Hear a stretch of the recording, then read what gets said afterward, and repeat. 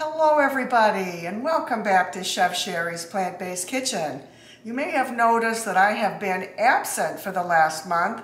I have been traveling and just taking care of some personal things, but I'm back today, July 4th. Happy July 4th to everyone. I pray that we have a peaceful July 4th.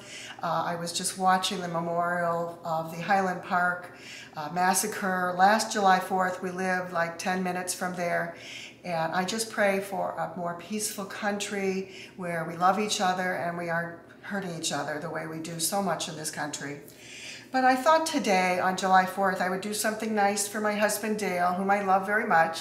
Um, and he loves carrot cake. And I know I made a carrot cake once before. It was Kim Campbell's carrot cake from Plant Pure Nation, which is excellent. But my friend Mary Jo Wenkish sent me a video of this man whose name is Javant, and his YouTube channel is Healthy Vegan Eating. Um, check it out.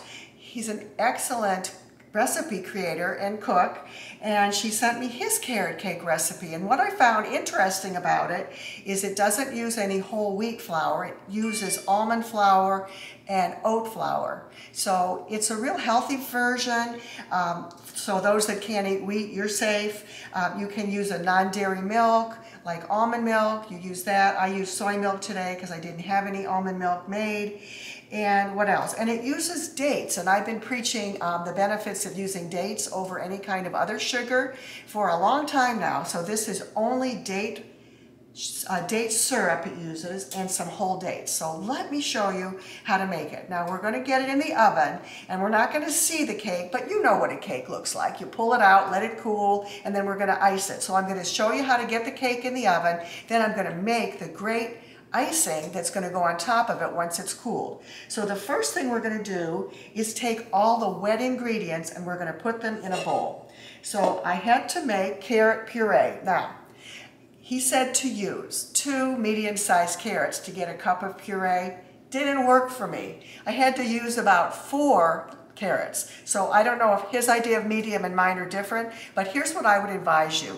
Because you're probably going to want to make this cake again, I would do six carrots and steam them until they're soft and then use your Vitamix blender or uh, a food processor to puree them and then put the rest in the freezer so you won't have to do it again. That was the only part that took a long time because I had to do it twice and I still didn't get a cup of puree.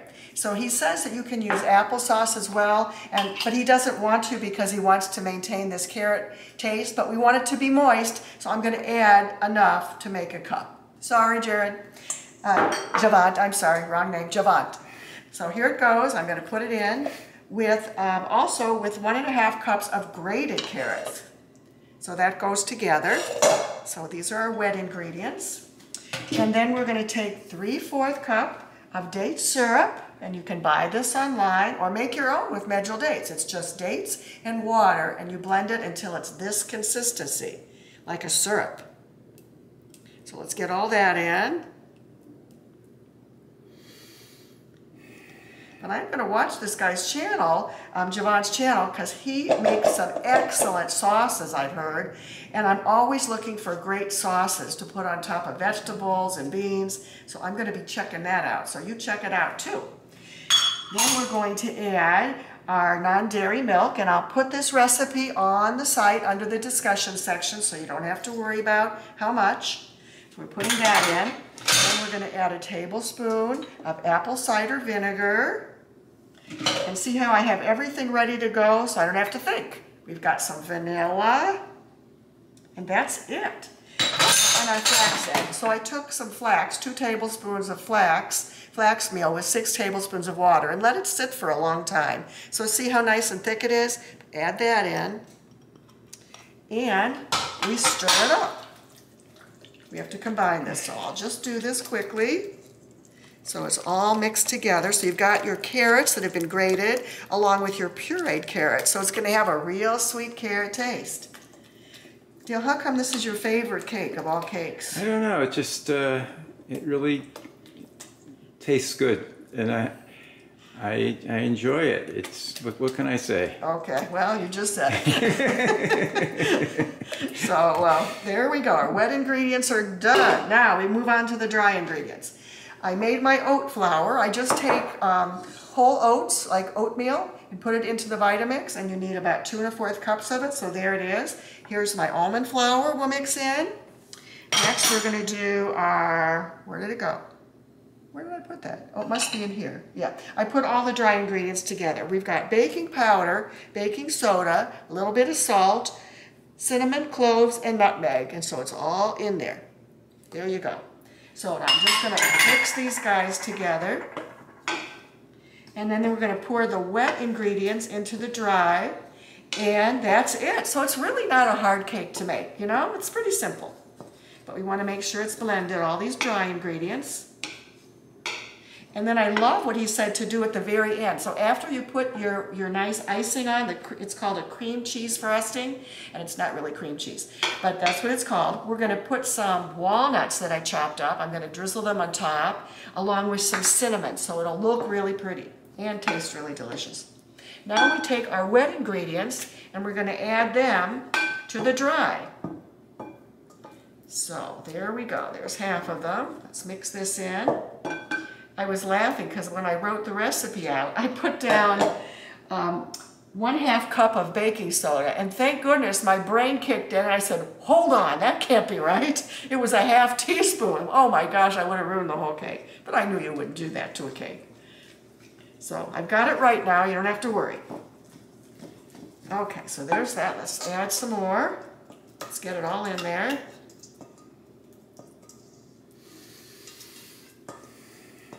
So today's a real warm day here in Chicago. Maybe we'll go swimming over at the pool, you think, dear?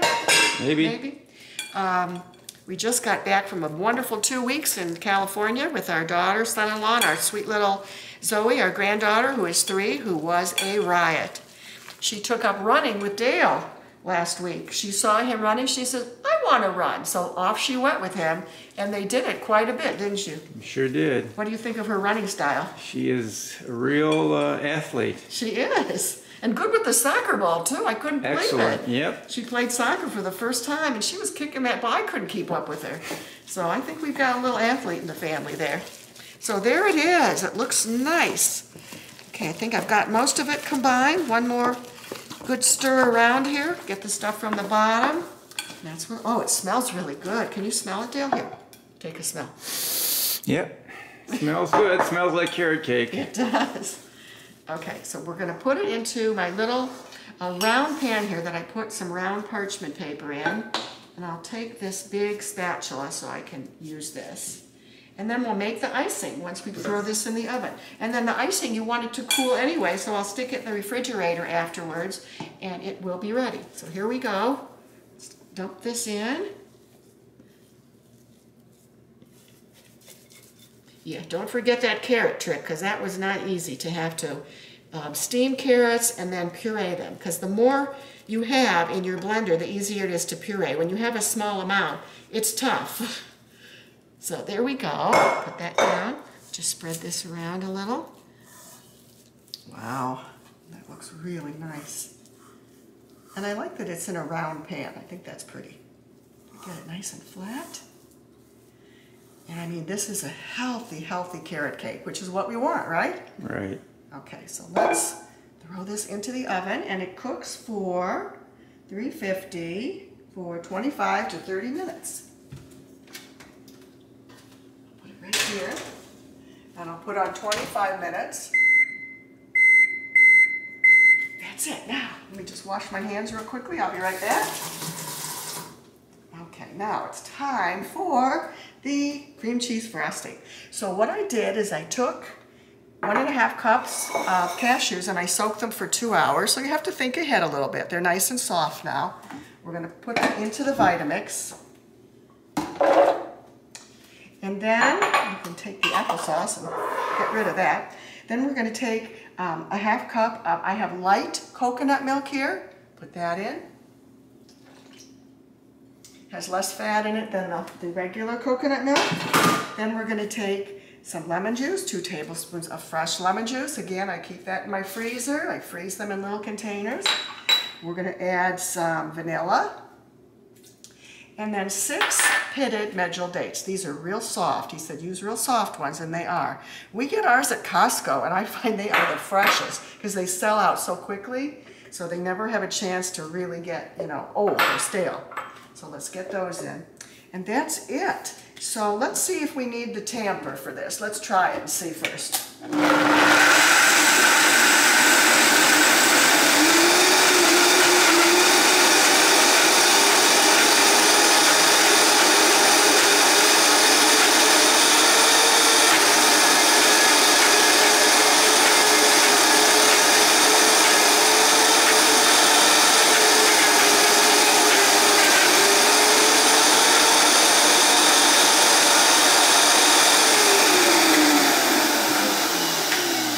So as you can see, it's sort of thick, so I'm gonna put the tamper in, we'll help it along.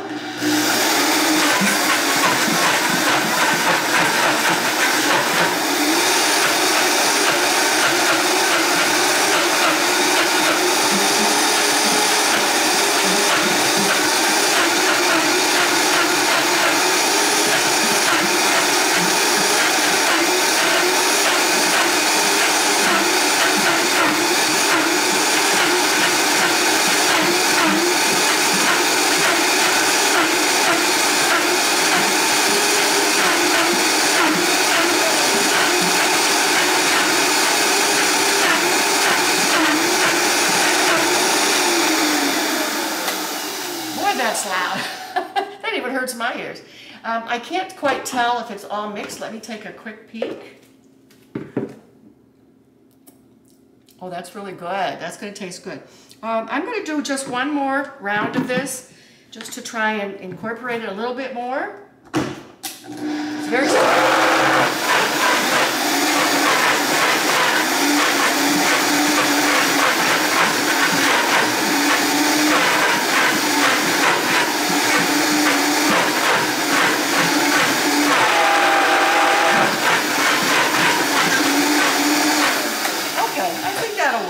me show you what it looks like and we'll put it in a bowl here.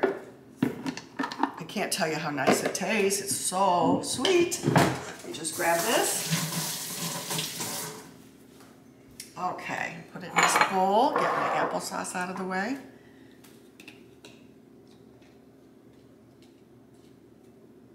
Looks like icing, doesn't it?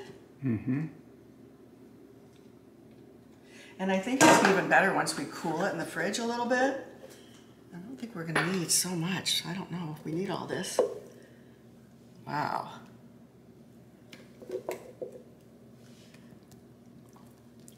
That's great. Yeah, it did blend it very well. It's very creamy. But I do want it to get uh, cold though, so it'll be easier to spread. Makes a lot. We might have to some of this to freeze. I don't know if we need all this for the cake.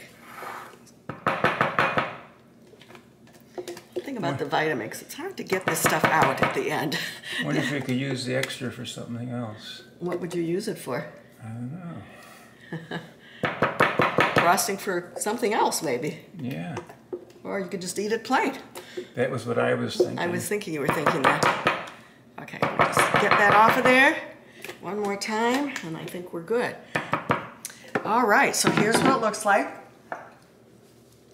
That's the frosting, and it's super, super sweet. So again, I wish you all the best today on July 4th. I hope you're with family and friends and enjoying yourselves. And hopefully I'll be back in not too long, back in the kitchen with some more great recipes. Have a wonderful day, everyone. So long for now.